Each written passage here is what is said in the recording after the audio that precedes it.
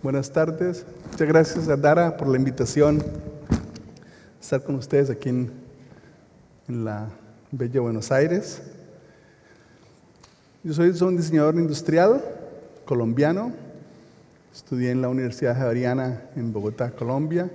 Y después hice unos estudios de posgrado de comunicación visual en Estados Unidos. En mi charla eh, les voy a tratar de contar un poquito de mi, de mi, trayectoria como diseñador, educador y optimista. Me interesante también que Luca nombró mucho esa palabra de debemos ser optimistas como diseñadores. Mi trayectoria realmente se trata de, de tres etapas. La primera etapa fue que trabajé con la compañía Philips Electronics en Holanda, del 87 al 2015, casi 28 años. Después, paralelamente, también trabajaba, fui, invitaron a que fuera director de un departamento de la Design Academy en Eindhoven, que lo hice más o menos por 23 años. Ahí tuve la oportunidad de conocer a Ilse. Eh, yo siempre decía que un poquito, para mí era un gran privilegio tener la oportunidad de como de, yo decía de, en la academia era pensar y en Philips era como hacer tener esas dos combinaciones me pareció una cosa muy, muy, muy, inter, muy interesante. Y por último, les hablaré, que es mi tercer sombrero, eh, el, el, trabajo que estoy haciendo en Estudio ILSE, que fue desde el 2015. Esperemos con la, la experiencia de, de Philips Design que una multinacional, en ese tiempo que yo trabajé, había más o menos 400 diseñadores alrededor de todo el mundo, en Europa, en Asia, en Estados Unidos. Les mostraré algunos de los proyectos donde, que hacíamos brevemente. Una tetera eléctrica que tuvo mucho éxito. En Philips era muy importante, realmente, o lo que yo traté de hacer era eh, imaginar lo que es tecnológicamente posible, pero que sea preferiblemente humano. Es una cosa muy importante. Tratar de evitar de que, porque se puede hacer, hacerlo. Que, a veces crea muchos, digamos, se crean cosas que realmente no necesitamos o que no mejoran o que no nos ayudan. Y tratar de como eh, traducir esos productos o conceptos que sean relevantes y en ese tiempo trataba mucho buscar el, lo que llamamos nosotros el lenguaje de la simplicidad. Nosotros siempre creemos que el, el, diseño en ese tiempo, la comida era nuestro, un poquito nuestro objetivo, era que creaba valor y, creaba significado.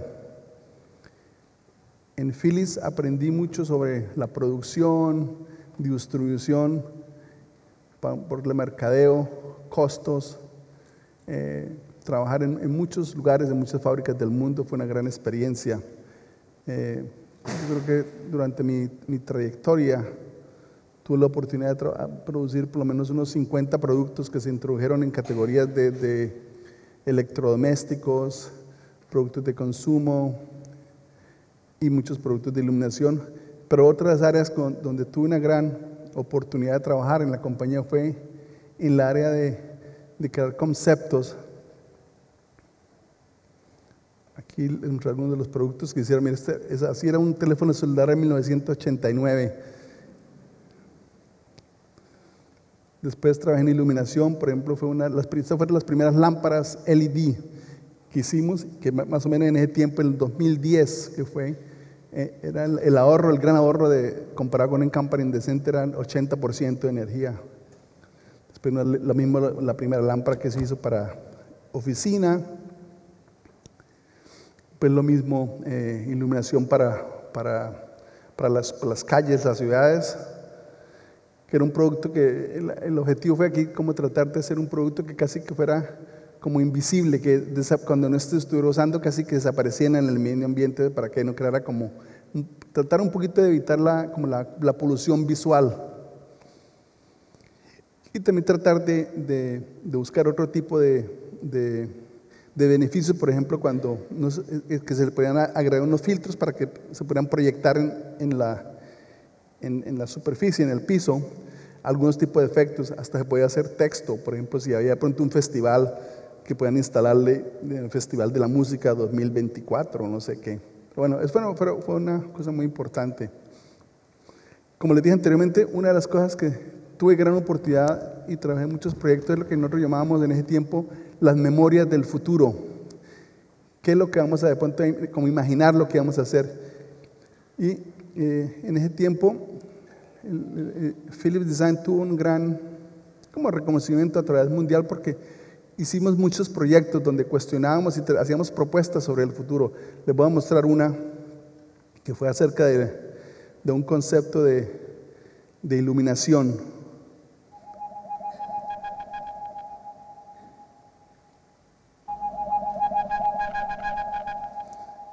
En donde lo que realmente tratamos de buscar cómo, a través de la iluminación, cómo queríamos trabajar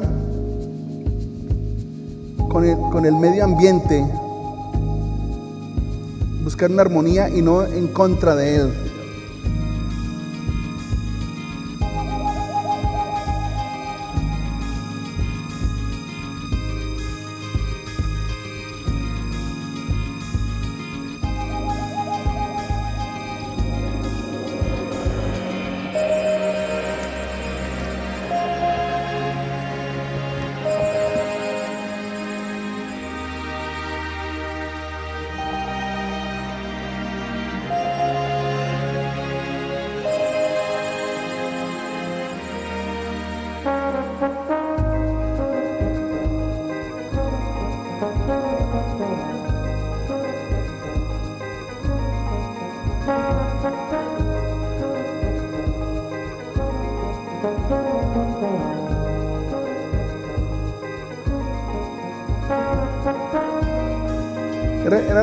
Recoger la luz del día y utilizar la noche cuando se necesite. Fue un, concepto, esto no se ha hecho. Eh, mucha gente se pregunta, bueno, ¿qué pasa? Pues, hacer, a veces traducir estos conceptos tiene muchísimas implicaciones en cuanto a los materiales, el uso. Entonces, pero de todas maneras, como diseñadores es muy importante tratar de como proponer poner cosas en la mesa. Y también muy importante, nosotros hacíamos muchos videos, como ven, donde visualizábamos mucho la idea para que se entendiera mucho más. Ah, miren, en dos segundos uno puede contar de pronto una historia mucho más grande que a veces no se puede contar con, con muchas palabras. Esa era una de la parte de, de, de crear estas memorias del futuro y parte de, de las grandes oportunidades que tuve trabajando en una gran compañía donde había muchísimos recursos, pero además, habiendo recursos, de todas maneras, el diseño era bastante, había muchos retos, no es que cualquiera, uno como diseñador, vamos a hacer esto y la compañía decía no. La compañía siempre, siempre decía, eh, había muchas oportunidades, pero de todas maneras había muchas, el, mercado tenía muchas, ponía muchas reglas, a veces las plantas donde se dan los productos, o sea, los costos eran bastante importantes. Entonces, como diseñador, pues aprendimos, era muy importante también aprender eso de, que no solo es imaginar y crear, sino que hay, que tener un poquito pendiente de que hay un mercado, que hay unos costos, que hay una distribución, que hay unos ciertos tiempos de compadres. Y digo que como diseñador era, lo más importante era tratarte que el nivel de ambición entre el diseño, entre la parte tecnológica, y la parte del mercado esté alineada. A veces como diseñadores en ese tiempo, uno a veces como diseñador puede como que acelerar muchísimo, pero de pronto se quedan los de la tecnología y del mercado atrás y empiezan los conflictos. Entonces la ideal era que las tres, esas tres disciplinas tuvieran el mismo nivel de ambición, porque realmente así se podría llegar a un, como a un buen resultado. Esa fue una gran experiencia, conocí mucho, viajé mucho. Eh, estoy siempre muy agradecido de haber tenido esa experiencia con una compañía tan grande. Ya entonces, paralelamente durante ese tiempo, yo empecé a trabajar en el Files en, en 1986. Después de 10 años fue que me ofrecieron la, la, posibilidad de, ser director de un, de un, departamento de la Design Academy. a mí me contrató en ese tiempo Lidevay Edelkor, que usted la, la, estado acá y me han dicho que la conoce muy bien.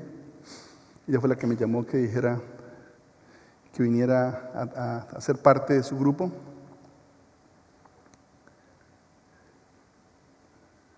La academia realmente en joven, para mí una de las grandes definiciones siempre ha sido de que ha sido una academia que ha tenido un alto contenido con un alto nivel de visualización.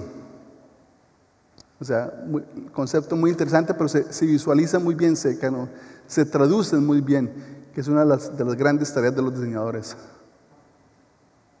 Y también otro, otra parte muy importante es que siempre los temas que tenía la academia siempre eran muy relacionados con, con la vida real y cómo hacer sentido de ella, porque realmente la única cosa más importante sobre el diseño es cómo se relaciona con la gente. Esa era una de las caras de la academia, había más o menos 750 estudiantes, unas 40 nacionalidades habían en ese tiempo y tenía programas de, de, grado de cuatro años y después abrieron un máster que hoy bastante, es bastante conocido. Yo creo que una cosa importante de la academia es que está organizada de una manera muy diferente a como se organizan muchas escuelas de diseño en el mundo, que son, o sea, tradicionalmente es diseño industrial, de comunicación, eh, de pronto eh, diseño de, de, de espacios, de interiores. La academia era más organizada como a través del el hombre en el centro, y habían departamentos, por ejemplo, que llamaba Hombre y Actividad, que era el mío, que era más relacionado con los productos, Hombre y Bienestar, que es el que Ilse trabajó también, había Hombre y Espacios, Hombre y Entidad, Hombre y Comunicación, Hombre y Entretenimiento, entonces habían más o menos ocho departamentos. Y la, la idea era un poquito de que la enseñanza fuera un poquito más transversal, que sea menos de silos.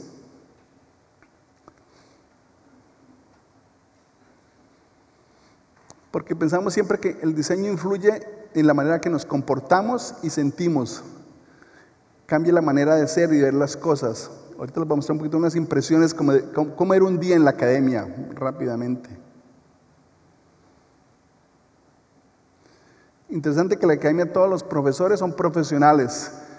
Casi todos dictamos máximo ocho horas al día, max, no, había más. Nosotros como, como directores del departamento, nuestra función era un poquito más la visión y dirección del departamento, los exámenes, los proyectos que se deberían hacer.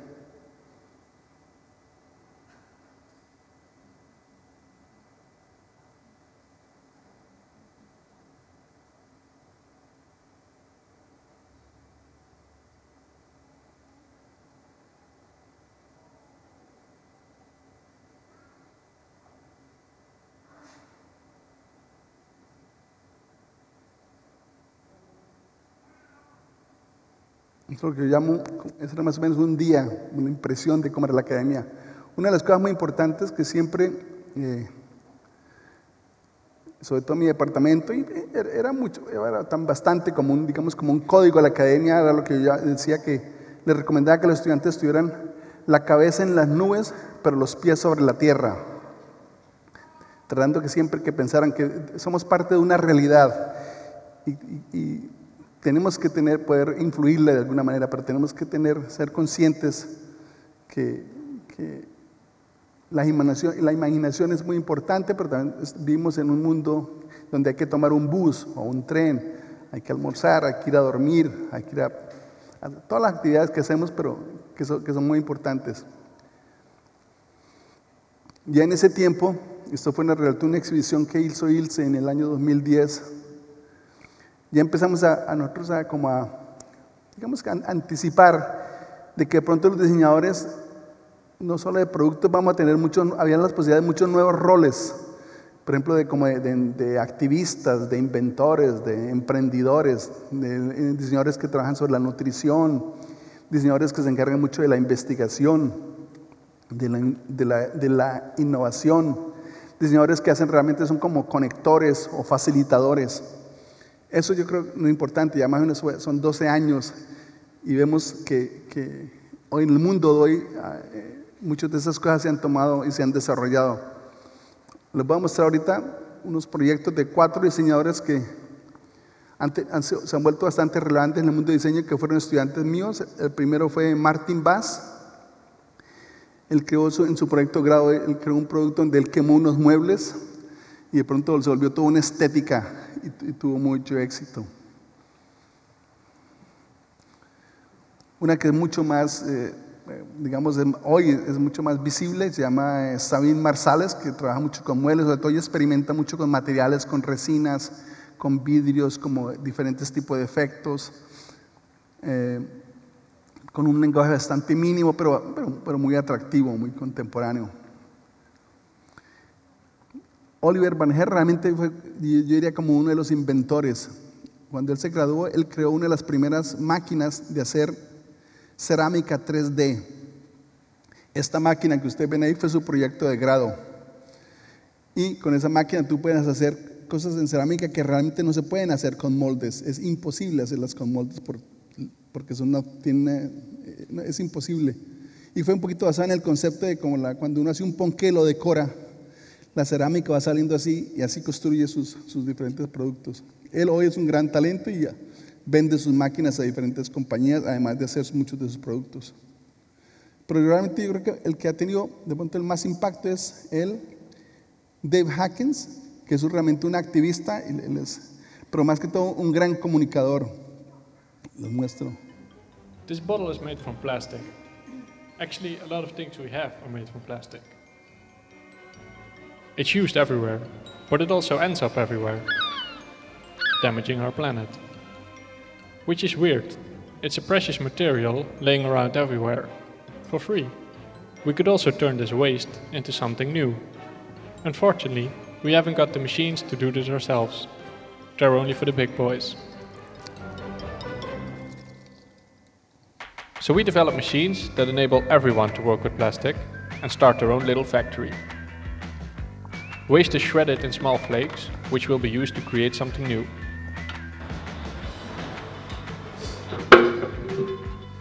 You can work freely with your hands, or make your own molds to set up a small production. It's like being a craftsman in plastic. Love the space you recycle colors, or keep it plain simple. You can create little containers and pots, make your own functional tools, or use them to create new raw material. Now you can turn plastic waste into something valuable. We love to see plastic getting recycled all over the world, so we share the blueprints of these machines online but also step-by-step -step instruction videos, lessons about plastic, tips and tricks and useful templates. A complete package with everything you need to get started, ready to download. The machines are specifically designed using only basic tools and low-cost materials that are available in every corner of the world. And they are developed modular, in different parts. In this way you can always upgrade, repair and customize them, or even adapt them to your environment. Wherever you live, you should be able to build them yourself, or find a local handyman to help out. These machines allow everyone to create new things from plastic, set up a production, start a business, and clean up the neighborhood. With this project, we want to try and boost plastic recycling by providing people the tools to get started. So this is all the basic information people need to start their own little recycle business anywhere in the world. And they can all download it for free. But in order for this to have an impact, we need to make sure that people actually know it's now possible and that they can just download and start. But we can't do this alone, this is why we need your help. By visiting our website, you can simply spread it around. Make sure it reaches your friends, uncle, neighbor, but also that farmer living somewhere in the middle of Africa. Your share might reach the right person, and altogether we can make sure it reaches every corner of the world. Once the information is spread, the recycling begins. Visit preciousplastic.com for more information and spread the word. David, además de ser, como un diseñador, un gran comunicador, realmente todos sus proyectos se, se, han enfocado mucho en la parte de la sustentabilidad del ambiente, los ciclos de vida, el, el, el, la huella del carbono, pero más que todo también le gusta mucho retar el sistema, el sistema actual. Lo último que supe es que después de precios prácticos, él cambió ahora, él se, se, se, fue a vivir a Portugal, compró como una, una finca y ahora tiene una organización que se llama One Army. Pero si tú ves, pueden ver algunos de los datos de él, son impresionantes. Por ejemplo, ha influenciado más de 500 sitios donde hacen ese tipo, utilizan el concepto de los, precios plásticos, plásticos valiosos. Ha tenido más de 15 millones de visitas en YouTube, más de 100 mil bajadas de sus herramientas, de los kits eh, de precios plásticos, una gran cantidad. Entonces, ha, sido una gran eh, como inspiración también para muchos de los estudiantes. Realmente, eh, una de las razones por qué estuve en la academia, sí me parece, mucha gente me preguntaba por qué estaba ahí, duramos, yo duré 23 años y duró 20.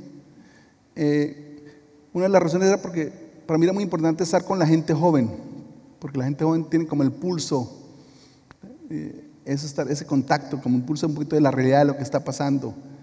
segundo, porque también nos aprendía muchísimo yo a veces decía, mire, a veces teníamos, cuando teníamos exámenes o evaluaciones, habían, si eran el grupo en el final de examen, eran más o menos 12, 15 estudiantes, cada uno con dos proyectos, son 30 proyectos que venían de cosas de, por ejemplo, de hasta cómo hacer máquinas para reciclar plástico, proyectos de la salud, una cosa para sentarse, una, gran cantidad de, conocimiento y que pues, digo, nos ayuda a mantenernos, sobre todo, muy, una mente ágil que, también me parece muy importante. Y eso también la otra cosa como, como educador, a mí siempre me interesó mucho la idea de cómo de tratar de, de elevar a veces a gente joven, como si empezaban de acá, cómo tratar de ayudarlos a subir, que fuera un poquito más, que fueran más arriba. Eso me parece a mí muy importante. Y también el sentido muy personal era de que tratar de devolver algo que me dieron a mí mis profesores de los cuales algunos todavía, tengo contacto mucho en Colombia. Entonces, a mí me pareció siempre es una, una gran labor.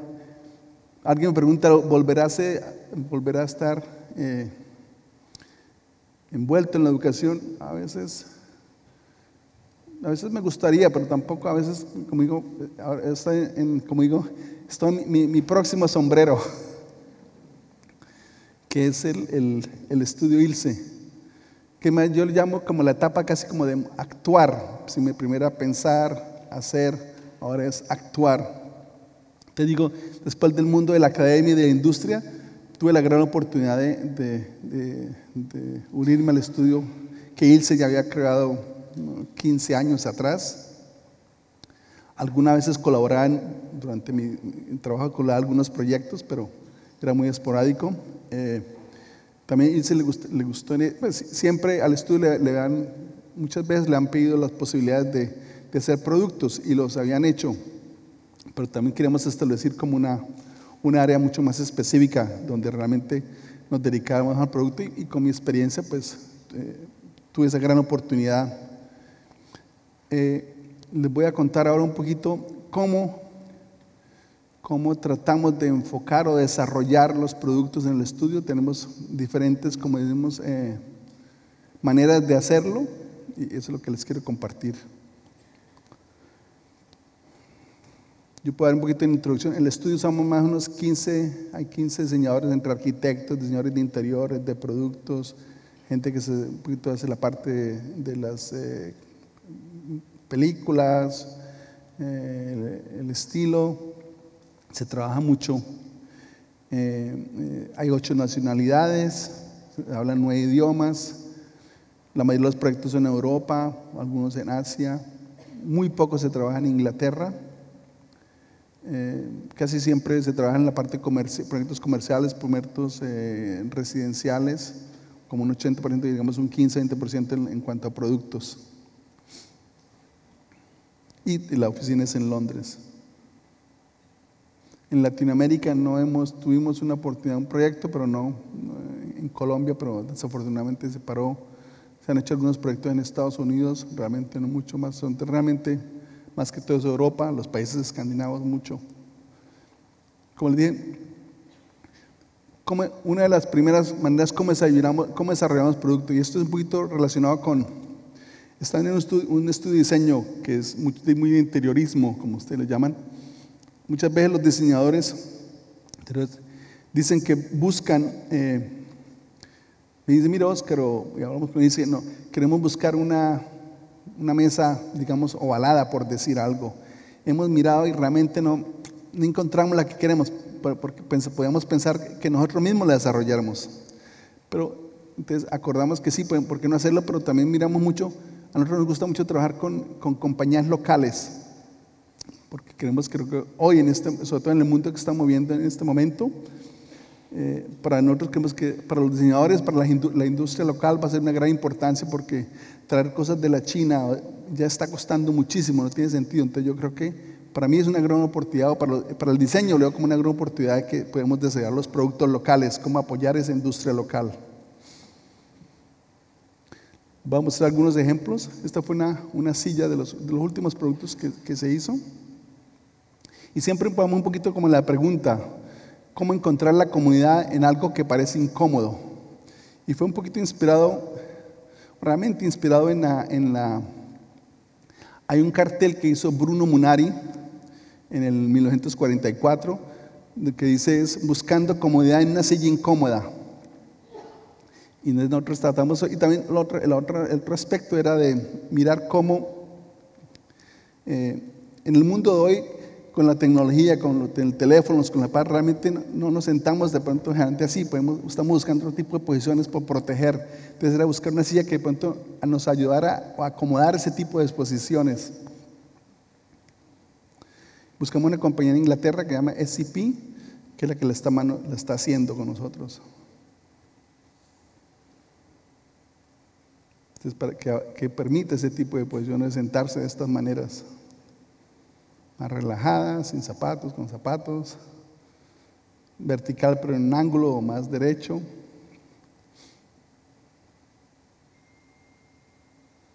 Entonces digamos que en el estudio los diseñadores dieron, no encontramos una silla que nos dé ese tipo en el mercado que, que de pronto reúne este tipo de condiciones, por eso es que hemos decidido diseñarla.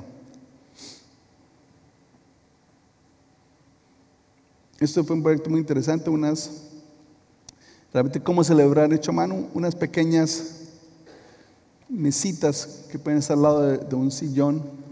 Y era más que todo para capturar el espíritu y la magia de la, de la carpintería japonesa y que fuera hecho más, que, realmente fuera, que pareciera que era hecho, más a mano que hecho a máquina. Si uno ve los círculos, son todos un, trazo de un, de un, círculo hecho a mano. Eh, fue una colaboración con, primero con un... Eh, en el Japón, después del tsunami, un, arquitecto, Ishinomaki, creó un laboratorio donde ayudaba a crear muebles para la gente que toda la, toda la instrucción sobre el tsunami y utilizaba un, eh, red cedar, una materia, una materia muy específica, entonces, que venían en específicas dimensiones y, así es que se podía diseñar. Entonces, esa fue la tarea de diseñar esas citas y, además eh, nos contactamos otra vez con la compañía SCP en Londres, que es la que les va a producir ahora ya en otro tipo de maderas, por ejemplo en, roble o en, más que todo en roble, que es lo que queremos. Otra manera de, como más que todo buscando, aquí es creando nuestros propios, como nuestra marca. Eh, nuestra marca ya sea eh, Estudio Ilse o Ilse Crawford y tratar de crear un portafolio de productos, pero bastante considerados, muy específicos. Por ejemplo, este es un sofá que realmente iniciamos, el primer sofá lo hicimos en el 2003, donde la pregunta era, ¿pueden los muebles ofrecer protección? No, la, era aquí era como la posibilidad que el, sofá admita tantos hábitos sedentarios o, como o, de la vida moderna que tenemos hoy, pero más que todo pensando de que podría ser como una habitación dentro de una habitación. Eso realmente lo hicimos porque vivimos en, ese, en un apartamento que era bastante pequeño, a veces teníamos amigos que venían a quedarse y ahí era donde podían dormir, esa es la idea, porque es bastante, por la profundidad de 85 centímetros adentro y, y y eso también lo hicimos en materiales muy especiales, lo hacemos en, lino, otra versión era en, eh, en velvet, mujer velvet. Que muy... Otro producto que de nuestra marca es, está bien hacer muebles costosos. Es un, eh, un, como un gabinete que es de hecho de, de, de brass o latón, pero creo que me han dicho que es la traducción, que es muy especial, que fuera con una risa, sobre todo para, para un cóctel, para un cocktail bar cabinet. Eh, donde pueden poner eh, las bebidas, se pueden preparar, pero también se, puede, se pueden guardar y se puede personalizar de dos o tres diferentes maneras. Son tres módulos. Y la idea es de como celebrando el, el ritual de tomarse un trago desde la preparación hasta la presentación. Lo hacemos de la manera horizontal o también tenemos uno de manera que es vertical, que se abre. El tercer, la tercera manera es ya un poquito pensando en lo grandes, colaborando con compañías industriales o compañías de familia, nos interesan mucho las compañías de familia, que tengan, pero que tengan extensos, canales de distribución. ¿Por qué? Porque todavía existe mucho el sistema, o trabaja mucho el sistema en, Inglaterra, en Europa, de, de, las, de las royalties, de las regalías. Entonces, por eso nos interesa poder trabajar compañías que no tengan solo un negocio, sino que, pues, que tengan la posibilidad que seguramente el producto que hacemos se pueda vender y, afortunadamente nos, dé, porque al comienzo, como ustedes saben, desarrollar un producto puede durar de dos, mínimo, yo digo mínimo 18 meses, optimista 24, dos años. Que es, a veces que es una inversión para el estudio, entonces no queremos que si esa inversión eh, que se pague, necesitamos que hagan bastantes puntos de shop, que seguramente bastantes puntos de venta. Hoy tratamos mucho de no solo trabajar con regalías, pero que nos den un, un, nosotros llamamos un design fee, como una, una, que nos paguen el diseño. No siempre lo logramos. Yo, hablamos con muchos colegas diseñadores que tienen la misma posición y, nos dicen lo mismo, que no siempre las compañías están dispuestas a, a pagar un design fee que no esté en contra del real. Generalmente si te dan a mí, te dan 10 mil dólares, dice, bueno, entonces cuando, cuando ganas tus, regalías te los descontamos. Nosotros queremos que no, que sea realmente pagar como, porque si tú haces un producto los cinco meses es una inversión de tu estudio. No se sabe si el producto se va a hacer o no se va a hacer y si va a tener éxito. Entonces, para tratar de como compensar, que sea un poquito más como egalitario la, la, la, colaboración entre las dos industrias. Y también nos gusta mucho que sean compañías de familia porque eh, siempre hemos dicho que nos gusta trabajar mucho con, que nos podamos directamente hablar con la gente que como que toma las decisiones Este proyecto, que uno de los proyectos que realmente estaba cuando Ilse estaba, en que fue hecho por más por el, estudio cuando, con Ilse, fue con George Jensen, que fue toda una colección. Entonces, cómo hacer de lo ordinario un poquito más extraordinario, donde crear un conjunto de, de unos productos muy bonitos, universales, que marcan y elevan simples actos cotidianos, convirtiéndolos como en rituales. También ellos estudiaron mucho con, este proyecto. Eh, los archivos de, George Jensen, mirando mucho la historia, una compañía danesa, y trataron de crear una...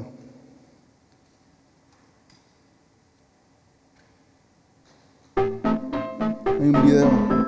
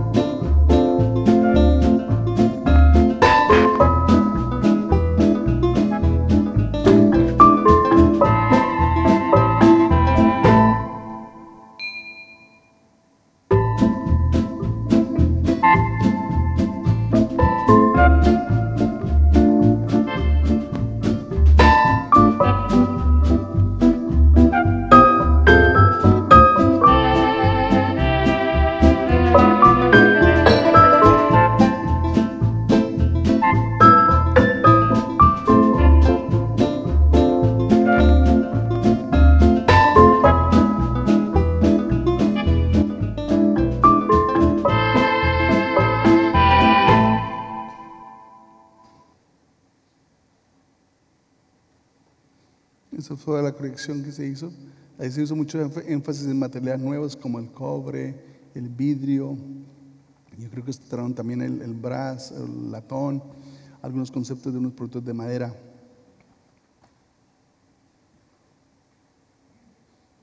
Otro proyecto fue una, una colección de sillas para la compañía Herman Miller. Entonces, se pueden diseñar sillas que se adapten a diferentes ambientes, ya sea residencial o sea comercial, y sobre todo con una mezcla de materiales. Aquí realmente la esencia era, nosotros pensábamos mucho de, eh, de que la parte de la espalda fuera una parte dura y la parte donde uno se sienta fuera un diferente mucho más eh, suave, donde pueda utilizar el cuero o, la, o, o un textil. Eh, también, no, creando, el, el- se, utilizó, se utilizó, por ejemplo, el corcho, la madera, el cuero, el textil, y que fueran sillas que de pronto pudieran utilizar en muchas partes, eh, al lado de una mesa o en una sala, donde realmente pues, se necesiten. Esto fue muy, muy importante que se hizo para IKEA en el 2015 y donde la cuestión fue, ¿puede hacer la producción en masa tener sentido? Aquí el estudio dice una colección de muebles de iluminación, accesorios, más o menos 30 productos, donde exploraron mucho los materiales naturales, formas simples y útiles que realmente encajan en la vida cotidiana. Como dice, trabajaron con corcho, cerámica, vidrio, algas marinas, bambú, materiales que tengan basta- bastante tactibilidad, o táctiles, y que se sientan bien y, y, pues, y también que se vean muy bien, ¿no? Y sobre todo trabajaron mucho eh, con la parte del, mirando el, el sistema que tiene IKEA, donde tiene muchos expertos en materiales, en producción, en sustentabilidad y also en sostenibilidad, en el diseño, en la logística, para que garantizar que los valores se trabajaran pues, a, un, nivel más sistémico, no solo no quedaran como, no, no fueran superficiales. Realmente el objetivo al final también del, del- del proyecto del estudio era de, de crear una línea de productos que eh, estuvieran también en línea con la, la misión de IKEA, que es hacer el deseo mucho más asequible para mucha gente y que sean a un precio muy razonable.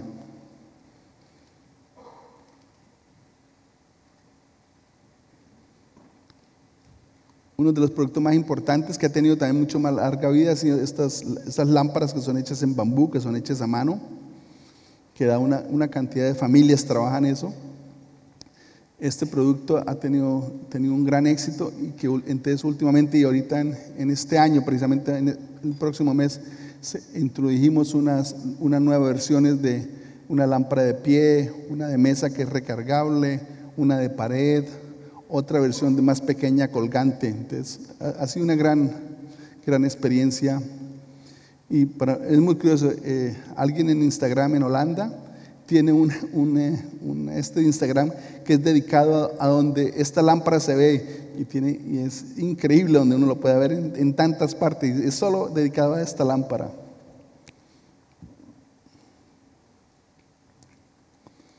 El cuarto punto que es muy importante, la sosten- sostenibilidad y la sustenta- sustentabilidad.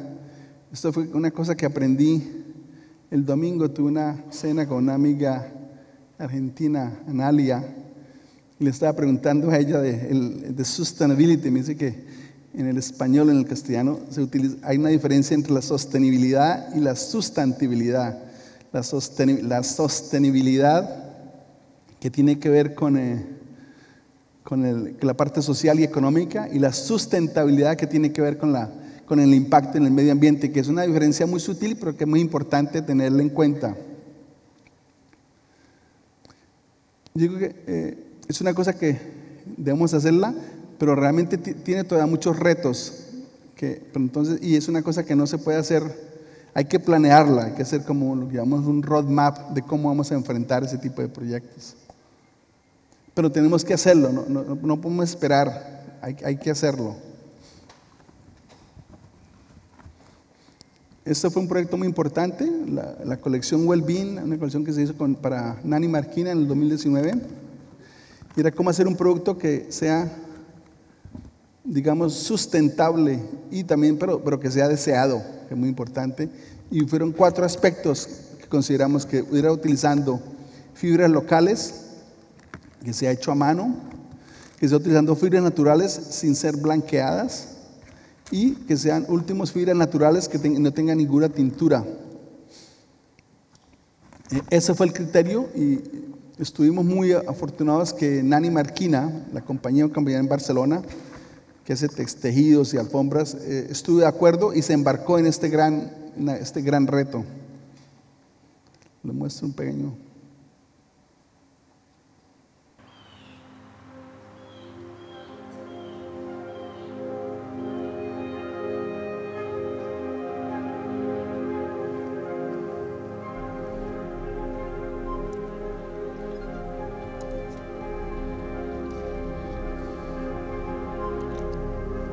We look at everything from the point of view of the human experience, but then how we can make changes in the way that things are not just designed but made so that in the end it affects the whole system.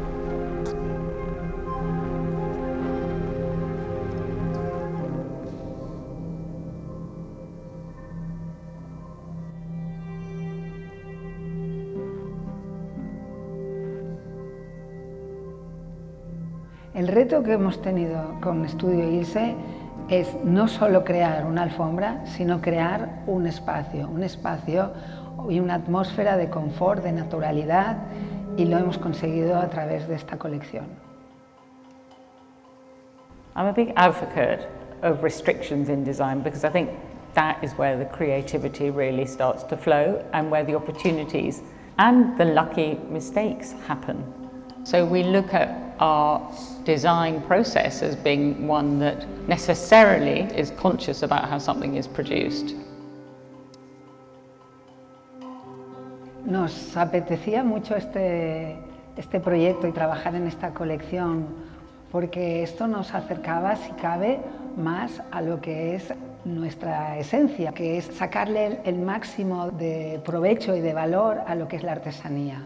El hecho de no tener fibras teñidas de colores, formas y dibujos, teníamos que ser mucho más puros y extraer este valor a los materiales, a las fibras.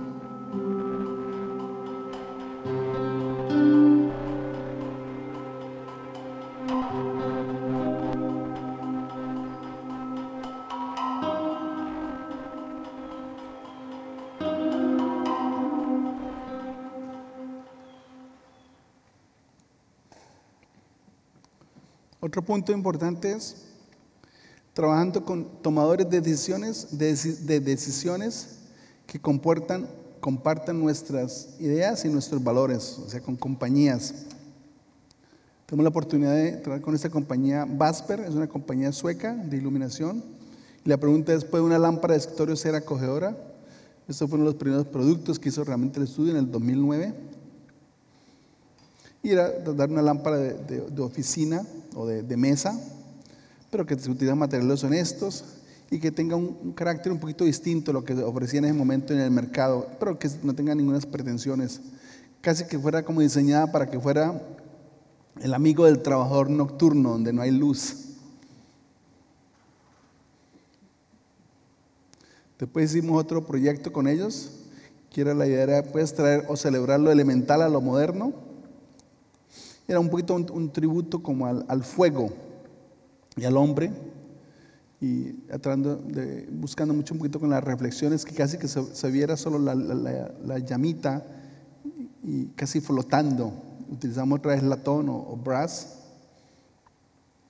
y la, la, llama se amplifica y se ve muy linda cuando es encendida. Estos dos últimos productos que hemos hecho con ellos pensando bastante en la sostenibilidad y la sostenibilidad. Se puede crear una lámpara que sea energéticamente eficiente, compacta y fácil de armar y transportar, pero también que sea fácil de, de cambiar la fuente de, luz, cuando casi, casi que sea upgradable, diríamos. Que especialmente en la tecnología LED, cada año está mejorando mucho mejor en cuanto a la eficiencia, mucho mejor en la calidad de la luz. Empezamos antes, los LED eran muy blancos, ya se consigue, ya, estamos llegando casi donde el, LED tiene el mismo calor o la, luz más cálida como la luz incandescente, lámparas incandescentes. Tiene esta una luz que le, hicimos en, tres materiales, en, cobre, tiene su dimmer, Hay una en pintada, una pintura, una acabada en pintura blanca y hay otra también en aluminio. Un proyecto mu- muy diferente. En el 2018 la compañía Love Mayer es una compañía austriaca que trabaja mucho con cristal de una gran tradición de más o menos 500 años, de un cristal de, de muy alto nivel. ¿Cómo hacer que el beber o tomar sea más placentero? Aquí el, reto fue más, no, tratar como elevar ese alto cotidiano de, de tomar y buscamos en ese lado, eh, creamos tres vasos que tengan diferentes grosores y para un poquito para explorar las diferencias táctiles. Uno a veces, el, hay unos vasos muy gruesos, son muy delgaditos, entonces uno podía como escoger de vasos de 0.7 milímetros a 2.3 más o menos es lo que... eh, entonces cada, cada, cada variación del, del vaso hace que la experiencia de beber un líquido sea completamente diferente. Y pues cada uno seguramente con el tiempo se acostumbrará a cuál es que le gusta más para el agua o para el vino o para de tomarse un trago. Y además complementamos con dos jarras para decantar el vino y una grande que es como más para, para poner flores. Y por último, yo creo de, los- de las partes de, de las, de, este, de este concepto que tratamos, de los seis conceptos que les he hablado del, del estudio de cómo desarrollar producto es donde vamos a trabajar con productos de baja tecnología que podamos sentir y tocar casi la parte de la artesanía, casi llegando, en donde vemos que los productos pueden ser como embajadores. Ya les explicaré por qué. Porque si son, digamos que esos productos pueden ser embajadores porque nos van a mostrar sus valores, nos van a elevar seguramente la percepción de dónde vienen y cuánto pueden valer y por qué son importantes. Y también porque seguramente son productos que nosotros nunca sabemos o nunca hemos oído. Les mostraré dos proyectos. Uno fue un proyecto que hicimos para una compañía que se llama Sanat, que es en, en un, un- un- un pequeño pueblito a una hora de Sarajevo, que se llama Konjik. Y el otro es un producto que hicimos en Colombia, en- en- usando una técnica, utilizando una, una técnica de un producto de la chamba, una cerámica negra que es bastante conocida. Entonces, ahí la, la pregunta siempre ha sido, ¿tiene el futuro la sustentabilidad, sustentabilidad en, la- en las artesanías?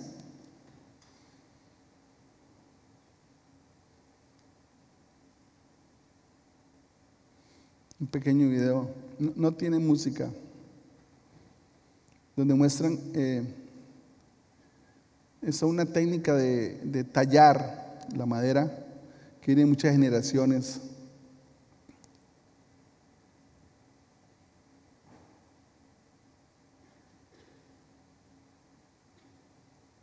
Y que la UNESCO le ha dado, la ha catalogado como, le ha dado un premio, una, una, una- distinción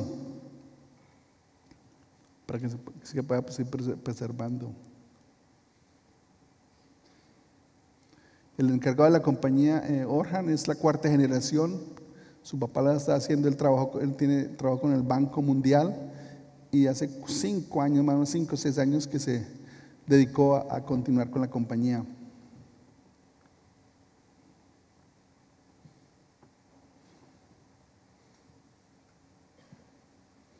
Sí, eh, esta técnica de tallar tiene, es parte del patrimonio cultural inmaterial de la, da la UNESCO. Aquí, aquí hubo un, detalle importante. Orja nos contó que por muchos años ellos trataron de cómo proteger el- esta, esta o preservar, pero el, enfoque que ellos siempre le querían dar cuando presentaban los documentos a la UNESCO era de autenticidad. Y nos contó que realmente a la UNESCO realmente no le interesaba la autenticidad, a, a la UNESCO lo que le interesaba era cómo se iba a preservar esta técnica, cómo se iba a, de pronto educar gente para que se manteniera y pudiera durar por muchos más años. Eso es lo que es importante. Entonces, la- nosotros uno siempre piensa, uy, que sea muy auténtico, que es lo más importante. Pero realmente eso no era muy importante. Claro que es importante que sea una cosa bien hecha, pero más importante es casi que cómo preservarlo, cómo sea que sea no, sos- sosten- sosten- sustentable y sostenible, las dos cosas. Es un buen ejemplo. Nosotros dejamos una, mesa, un gabinete, una, una banca, tenemos que en patas de bronce, patas de, y también con patas de madera. Interesante, descubrimos trabajando en esa zona que en esa zona hay muchas compañías de carros, sobre todo de Alemania, hacen muchos productos de, de, casting, de moldes de, metal para las partes para los automóviles. Una de las compañías que hace muchas partes para automóviles es la que está haciendo estas partes en, bronce. Después agregamos unos, unos, contenedores, unas bandejas, unos, como unos platos. Y hasta hoy, de las estas son las tres colaboraciones que hemos tenido con ellos. Han tenido muchos éxitos. Unas compañías de las que mejor nos da regalías. Son muy, muy, muy eh, muy, eh, ¿cómo se llama? Muy constantemente, cada tres meses, y, vende muy bien y ha tenido muy, y nosotros, ha sido muy, para nosotros ha sido una, una, gran satisfacción que hemos podido ayudar a una compañía y sobre todo que él ahorita ya fundó como una escuela donde está entrenando mucho a talladores, entonces la compañía ha crecido mucho a través de los diferentes proyectos y la diferente colaboración. Y como último, un proyecto de la misma, con el mismo tipo de ideas, Raíz, un proyecto que hicimos, AMES, eh, es una compañía, digamos, colombo-alemana, una Ana María Calderón, una colombiana que vive en Alemania, que tiene, eh, le interesó mucho promover las artesanías de Colombia y, hace más o menos 10 años que está trayendo muchos productos de textiles, alfombras, unas sillas, mucho de la cerámica esta la chamba, que les vamos a hablar un poquito que, que si nos interesaría trabajar en una colección de iluminación. A mí nos pareció muy interesante. Eh, la chamba es una, a nosotros siempre nos ha gustado mucho la cerámica, la chamba que hace, viene de contenedores para cocinar, es una cerámica negra. Yo creo de los productos colombianos que tienen artesanos, que tienen, han tenido bastante salida en el mundo exterior, son la, es la chamba, que es una cerámica negra que es realmente que se cocina a 700 grados, entonces es bastante, si se rompe, se puede otra vez romper y se puede volver a, utilizar, comparada con realmente la otra cerámica que es la que se a 1200, que realmente no es sostenible, porque, porque no, no, se puede casi utilizar otra vez. Y a nosotros siempre nos interesaba cómo ese tipo de, de, de material y eh, para, esta colección nosotros tuvimos muy en cuenta era cómo, la imagen donde la secan, hicimos una lámpara de mesa, una lámpara de pie, utilizando la chamba y hay unas como unas cubiertas donde se utiliza la palma de iraca, que es el tejido que se usa para los sombreros. Nosotros siempre hemos querido que eh, eh, a veces en el diseño no es inventar siempre lo que hay que hacer, sino es más buscar como nuevas conexiones.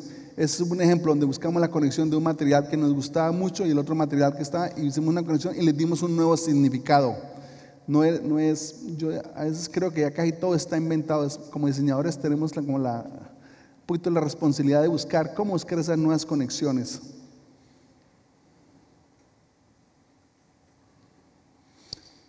También ella, eh, hacer, quiso hacer otra, otras lámparas en, más en la cerámica tradicional donde puede utilizar colores.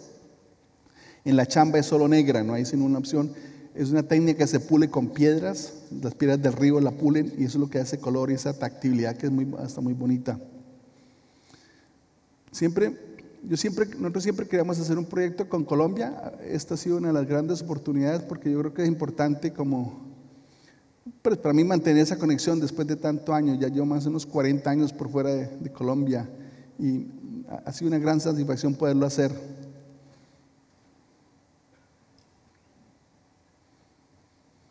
Entonces les compartí un poquito mi trayectoria, como les dije, donde, de, muchas situaciones en que me dieron la oportunidad de desarrollar mi manera de pensar, mi manera de diseñar, también un poquito de manera de educar.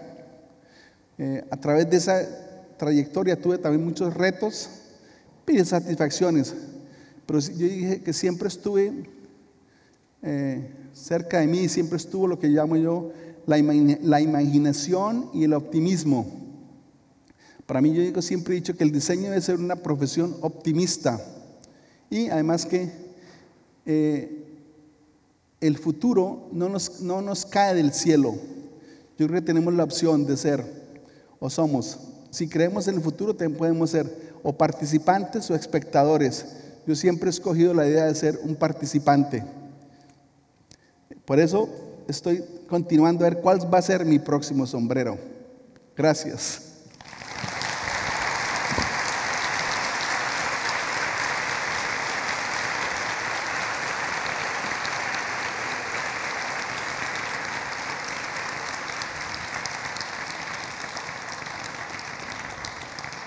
Bueno, muchas gracias Oscar.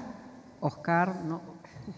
Vamos a, pasar a hacer unas, unas pocas preguntas porque la verdad que ha sido muy completa la presentación y quizás algunas preguntas ya fueron contestadas a lo largo de la exposición, con lo cual ya sería reiterar cosas que, has contado. Pero eh, algo que quizás te podríamos preguntar, que acá se coincide varias veces, es de, digamos, siendo latino, conociendo nuestra idiosincrasia más o menos, no somos igual a los colombianos, pero bueno, estamos en el mismo continente. Eh, mucho miramos, obviamente, a Europa, Inglaterra desde acá, pero ¿qué ves que, que no se puede traspolar del diseño europeo inglés acá y con qué deberíamos ser, mm, no sé, más cuidadosos o no, o, no tratar de migrar para acá? No sé si no lo oigo bien la pregunta. Como se hágase cerca, acérquese. el sonido, a ver, que como como latino. Claro, eh, la pregunta va un poco del lado de miramos mucho a Europa y Inglaterra. Em, ¿Qué elementos te parece que no tiene sentido que tratemos de, copiar, básicamente, de, una cultura que en parte sí es nuestra, pero Sí, yo no lo entiendo. Es una, cosa que siempre me ha, la tengo como que me preocupa. No sé por qué siempre, y no solo, no creo que la pasa en Argentina, pero en Colombia siempre tenemos la misma sensación de que como que estamos muy preocupados qué es lo que está pasando allá, cuando yo siempre he dicho que a veces las respuestas las tenemos al lado nuestros. Eh, no sé, nosotros tenemos muchísimas culturas, muchísimas riquezas, muchísimas habilidades. Eh, pero como no, yo sé que la parte económica es, muy importante, pero no solo, pero tenemos la, imaginación, que yo creo que es la, herramienta más poderosa que puede tener cualquier eh, pueblo, cualquier... Eh, pero como, no, como que no la ponemos en práctica, no sé, algo nos... Sí, para mí estamos muy, muy preocupados mirando qué es lo que viene afuera, en lugar de mirarnos como un poquito como nosotros y decir, mire, esto lo podemos hacer. Y además, creo aquí, eh, somos bastante, el, concepto de colaborar, lo tenemos un poquito, como que no lo entendemos muy bien o, nos cuesta difícil. digo que es bastante la envidia, está muy preocupado, ¿y por qué él hizo él? Que si hizo él que no hizo, hizo él. Eh, la, colaboración, yo creo que llegamos a un punto que no, como que no, no nos deja avanzar. Eh, alguien una vez, un holandés me contó una historia de, de, que como, por ejemplo, en Holanda ellos dicen, bueno, si algún negocio, alguna, haber un negocio, alguna situación, ellos fácilmente decimos, bueno, entonces vamos, digamos, 50-50. O, no, ellos dicen, bueno, por, esta vez para este negocio tú recibes 70, yo recibo 30. Y para la segunda parte entonces cambiamos, tú recibes el, 70 y tú el 30 y así podemos seguir adelante. Creo que en Latinoamérica si uno le propone eso a alguien, dice, no, pero ¿por qué usted 70 y yo 30? Tenemos que ir siempre iguales o pues yo tengo que ganar. entonces eh, lo vemos como un poquito destirgerciado, ¿no? No, no, es, no, es, no lo tenemos muy claro todavía.